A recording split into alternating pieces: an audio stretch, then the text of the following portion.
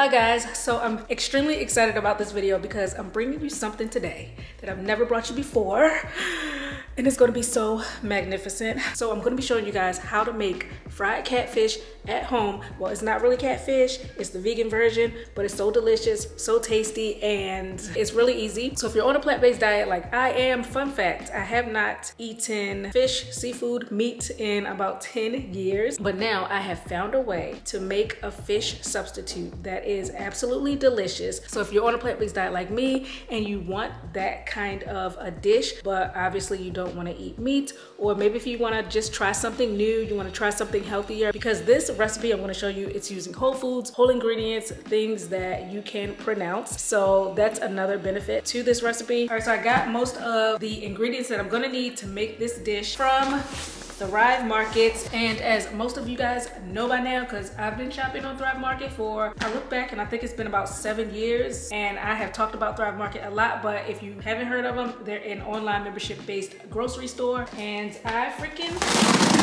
love shopping on the Thrive Market site because the interface is just so easy to use. They have a buy again feature so I can go back as I have some favorites on there that I like to buy every single order and I can just go on there and see what I last bought and just click the button and buy it again. Very, very user friendly. You can sort by your value. So because I'm plant-based, I can go in there, put in plant-based and see all the products under that category. And I find a lot of new products that way because I like trying out different stuff. But yeah, let me show you what I got in this order to be able to make this vegan fishless catfish. Unbleached all-purpose flour. This is organic. I got some organic canola oil cornmeal, organic yellow corn polenta, organic kelp granules. By the way, this is not something that I can find in my local grocery store, which is another reason why Thrive Market is so clutch because it's really easy to go in there, order what you need that you might not be able to find close by and it comes right to your door. Organic ketchup, nutritional yeast, organic lemon pepper zing,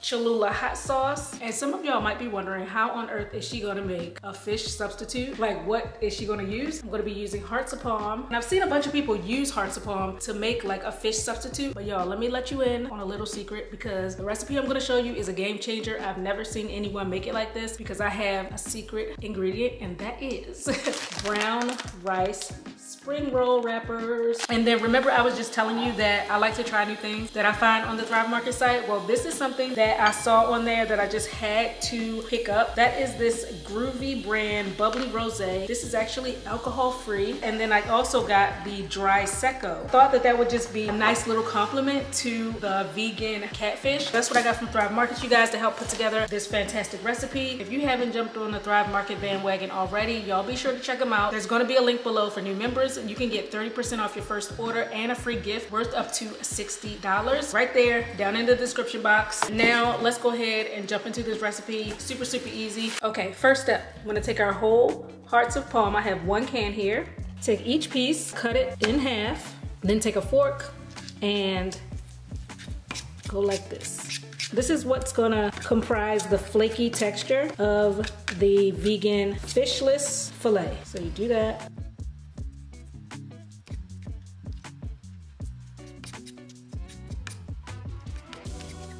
Should look like that. And I also like to chop it up a little bit. Gonna continue for the rest of the pieces.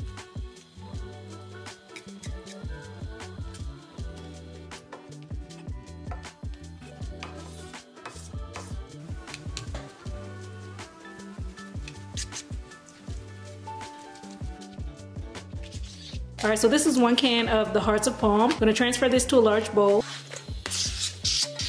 To this bowl, I'm gonna add a quarter teaspoon of the lemon pepper zing, a quarter teaspoon of the kelp granules, half teaspoon of Old Bay seasoning, a couple shakes of garlic powder, and a dash of salt. Mix that all up take the brown rice spring roll wrapper, large bowl of warm water here. We're gonna dip our wrapper into the water, fully submerge it in there. Right now it's rigid, but it's about to get really, really soft. Put it onto a cutting board, add the hearts of palm filling, and you wanna do a thin layer of this. You don't wanna pile it up just make a thin layer in the middle and you wanna kinda get it into a fish fillet shape. Or you can do any shape you want, but to make it more realistic, we're gonna try to form it in a way that a real fish fillet would look. Bigger at the top and then smaller at the bottom. So we're gonna fold the edges of the paper inward to cover this filling up. I like to trim off the excess though, because we don't want too much of the rice paper. Fold this over.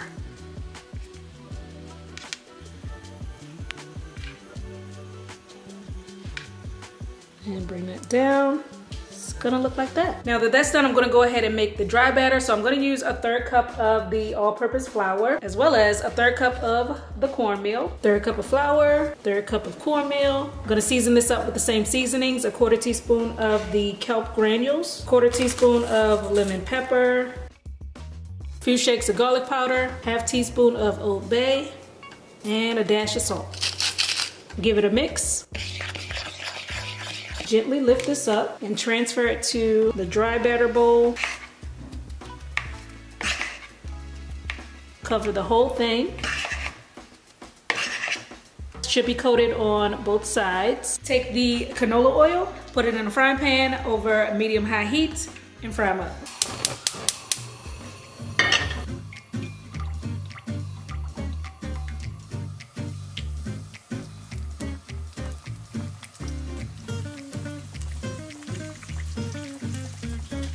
Once it's crispy on the underside, you wanna flip it.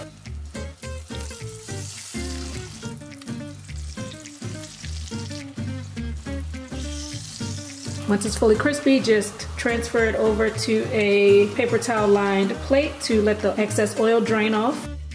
All done. From one can of Hearts of Palm, I was able to make six, woo, almost lost them there. I was able to make six pieces of my vegan catfish. They turned out so perfect and crisp. Listen to this, guys.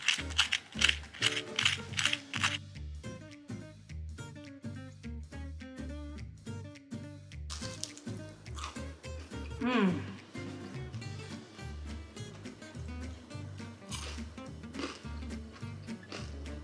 You hear that crunch?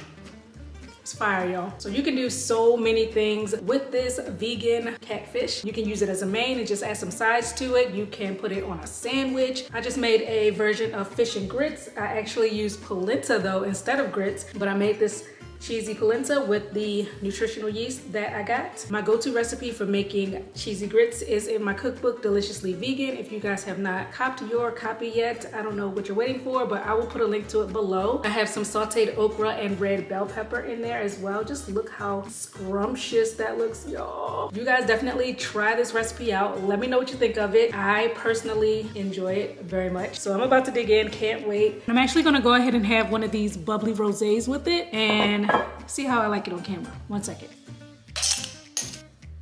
Mmm, smells really good.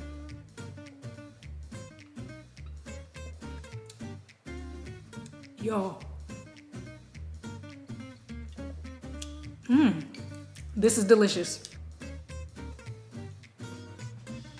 I'm liking this a lot. Tastes fruity, tastes light, tastes refreshing. Grab you some hot sauce, y'all, and you're in business.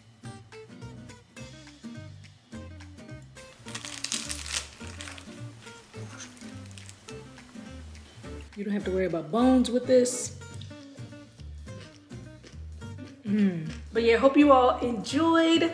Um, thanks again to Thrive Market for sponsoring today's video. You guys check them out by clicking the link below and I will see you on my next one. Peace.